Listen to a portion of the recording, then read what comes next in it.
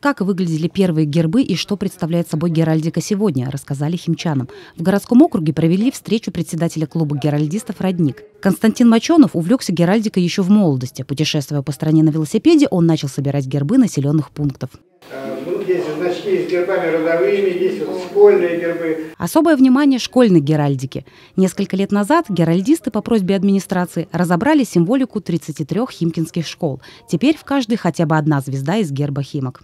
Первоначально, э, когда мы смотрели на все эти эмблемы, э, которые были на сайтах школы, они были э, очень много однотипных, очень было много, много различных сов, было книг, учебников. То есть это те вещи, которые, собственно говоря, характеризуют любое учебное заведение. Кроме этого, были, были эмблемы, связанные с государственной символикой. Год назад гербы школ внесли в геральдический регистр Московской области. Индивидуальная символика создает чувство общности и воспитывает патриотизм.